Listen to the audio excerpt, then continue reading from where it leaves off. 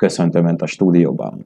Köszöntöm a televízió nézőit, különös tekintetre a négyes számú választókörzetben lakókra. Köszönöm a lehetőséget. Hogy rengeteg pályázatért is felel, ami karcagot nézve elég tetemes darabszámot tesz ki. Hogy áll ez össze ez a munka? Hát gyakorlatilag ugye polgármester úr megbízott ennek a fejlesztési csomagnak a, az ellenőrzésével, illetve az előkészítési munkákért. Ez gyakorlatilag napi munkavégzés jelent, rendszerességgel napi egy óroszát foglalkozunk jegyzőr vezette csoportnak a munkájával, amikor döntéseket kell előkészíteni, napra készen előkészítjük, úgy gondolom, hogy minden ilyen dolgot határidőre tudunk teljesíteni, ezért vannak nyertes pályázataink, ezért vannak folyamatban lévő pályázataink, amelynek előbb-utóbb az eredménye a város számára meg fog jelenni.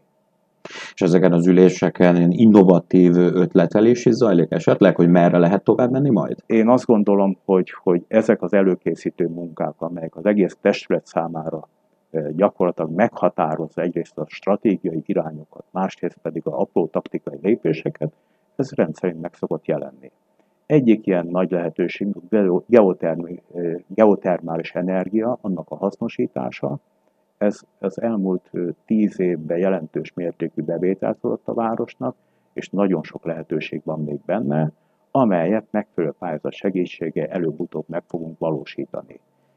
Itt ennél a pontnál mindenképpen meg kell jegyezni, hogy egy-egy ilyen kísérőgáz konkrétan meg, vagy leválasztásának a hasznosítását az önkormányzat saját cégein keresztül végzi el, nem pedig apró pénzért külső multinacionális cégekkel végeztetjük el. Ennek egy nagyon komoly példája, hogy a fürdő, bocsánat, a kórháznak a hőenergia ellátásába nagyon jelentős szerepet képvisel ez a tétel. Ez, ez akkor tulajdonképpen a működési költségeket is csökkenti. Így van. Igen. Köszönöm szépen a beszélgetést, és köszönöm szépen, hogy eljött ide Köszönöm szépen a lehetőséget.